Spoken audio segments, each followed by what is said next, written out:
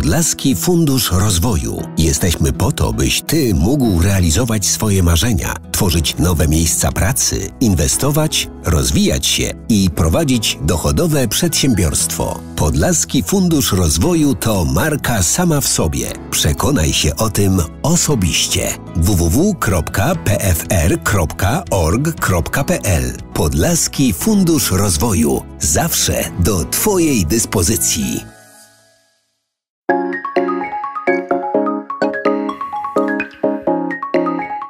Trasa powstawała po kawałku, przez lata i nie bez przeszkód czy trudności, ale wymyślona przed laty wizja ówczesnego prezydenta Józefa Gajewskiego wreszcie się zmaterializowała.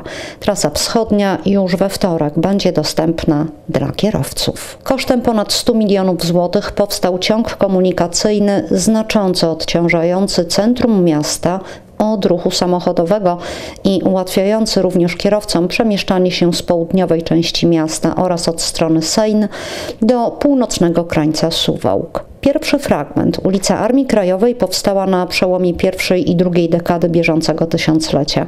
Z czasem pojawiły się ulice Stulecia Niepodległości, Rotmistrza Pileckiego, Świtalskiego i na końcu ostatni fragment. Wylotowa Sejneńska. Ciągu tej trasy wybudowano pierwsze w Suwałkach dwa tunele pod torami kolejowymi. Przedsięwzięcie to nic innego jak zupełnie nowy szkielet drogowy Suwałk.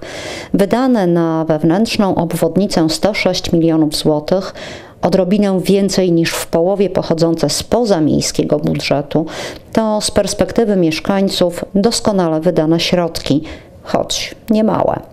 Otwarcie ostatniego, kilkusetmetrowego odcinka, spinającego ostatecznie całą trasę, nastąpi we wtorek, 15 października.